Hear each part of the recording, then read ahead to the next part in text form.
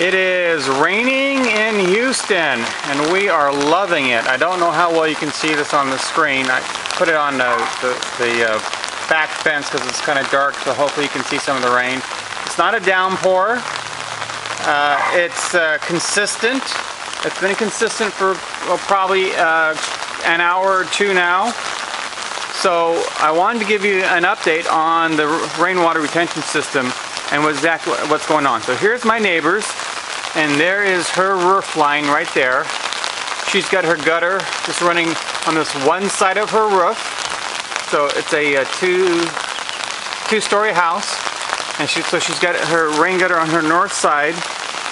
And uh, here is her setup right here. It's working great. You can see, I don't know if you can see very well, but at the end of that first flush system it's dripping, which is uh, how we have it set up. So after the rain's all over, it'll empty itself. But on the other side is the uh, runoff, the overflow. So let's go, oh, by the way, I painted this the other day. She went and bought some paint, and so I painted it. I think it looks great. She matched it to her siding, so it looks good.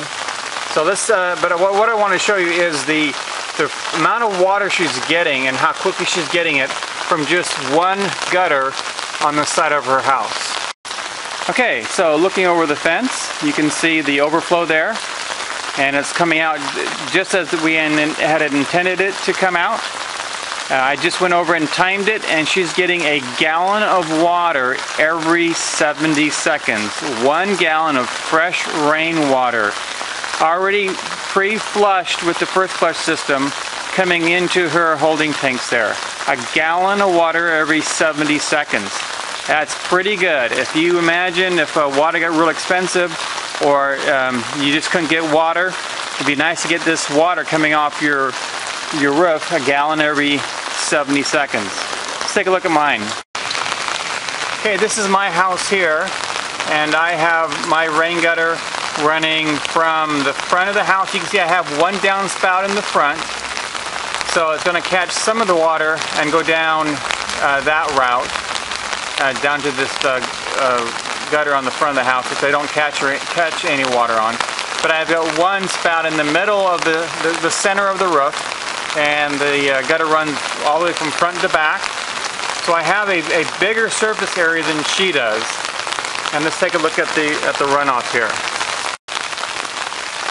Alright, as you can tell, I have not yet painted my PVC, but that is uh, certainly something I'm going to be doing. And here's my runoff right here. So we're getting a really good runoff. And you can see I've got a one gallon bucket there and a funnel. And I'm going to go ahead and time to see how much uh, fresh rainwater I'm getting per minute. Okay, since I'm here by myself, I'm, I'm going to have to set the camera up on, on some bricks here. And start timing here. So hopefully you can see this. I've got a uh, zero timer on my on my timer here.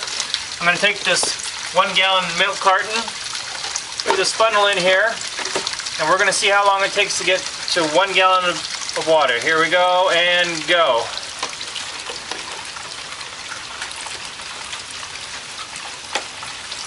Hope I don't ruin this phone.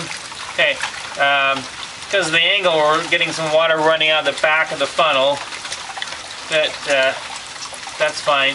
This water is coming out just crystal clear. Again, it's come down through the first flush system. Okay, we've got over uh, over. Okay, we got over a half a gallon. It's kind of coming out. Okay, so we're over.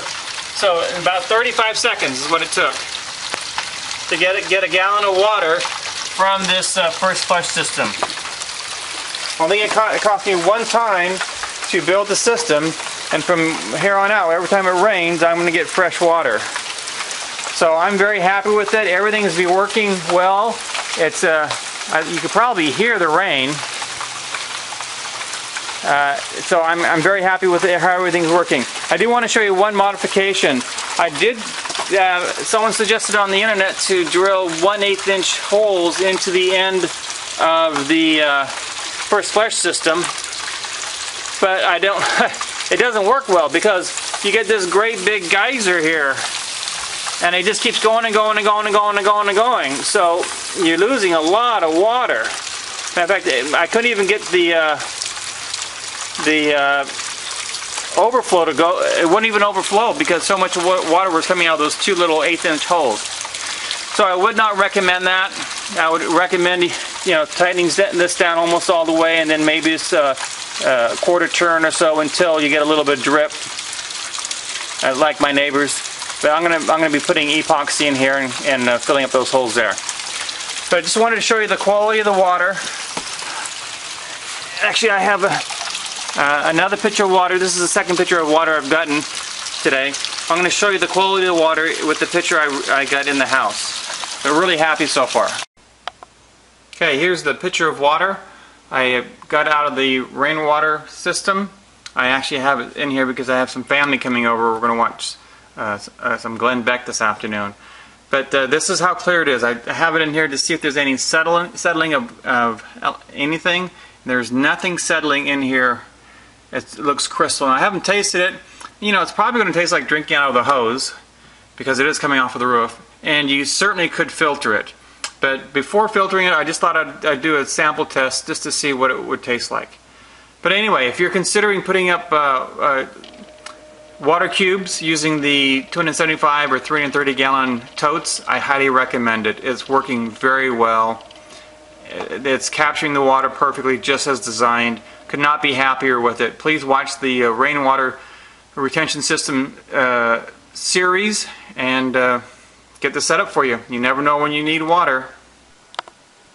Well, let's give this uh, rainwater a test. So I thought since I'm doing a video on how much rainwater we're getting and and actually drinking it, might as well taste it here.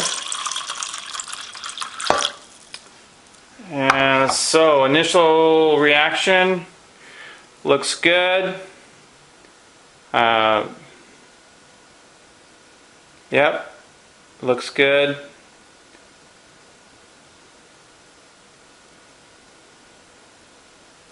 All right, let's see if this tastes like the asphalt roof or the rain, uh, fresh rain water or the garden hose.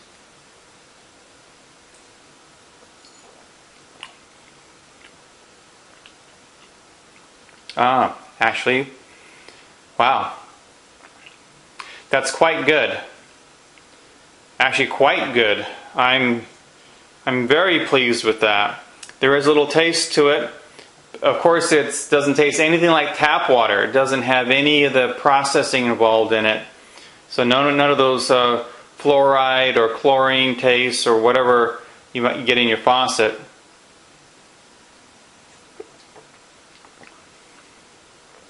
Absolutely, wow! People, people pay for this good this water. This is actually amazing tasting water. This is outstanding. We have a expensive water filter here in our house. I just replaced this uh, a couple days ago. I ordered a, a new water filter to replace this because they don't make this anymore. I replaced this with the Zen water filter off Amazon. I'll give you a link below and I'll do a review of that product once it's, it's uh, delivered here. But uh, the reason why this water filter is so expensive is because it actually goes through a, a system where it goes through rocks and other things to give it more of a natural spring type of a flavor. And this water here, right from the sky, right off my roof, tastes better than what I'm paying out of the water filter. One more taste here. Yep, that's a winner. That is absolutely amazing. Again, feel free if you want to to filter that water, but for me in my house, wow, I think that's just good as it is. Now, of course, I'm sure there's could be nasties in there that don't, that don't have any flavor, so don't worry about commenting about that. And yes, uh, like I said, it's up to you. You filter it if you want, and we, we will hear if, if my wife wants to. But I'm telling you, that is great tasting water. Rainwater. Couldn't be better.